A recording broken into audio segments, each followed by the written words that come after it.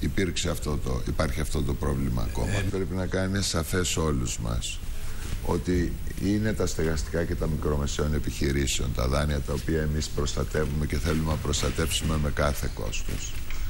Και αυτό εξαγγέλουμε. Από την άλλη πλευρά, ο κύριος όγκος των κόκκινων δανείων, το 60% των κόκκινων δανείων, είναι τα επιχειρηματικά δάνεια, τα οποία είναι μια χωριστή κατηγορία, τα οποία εκεί συζητούμε και μελετούμε διάφορους τρόπους αντιμετώπισης αυτού του προβλήματος. Άρα πρέπει να είναι σαφές ότι είναι δύο χωριστά πράγματα.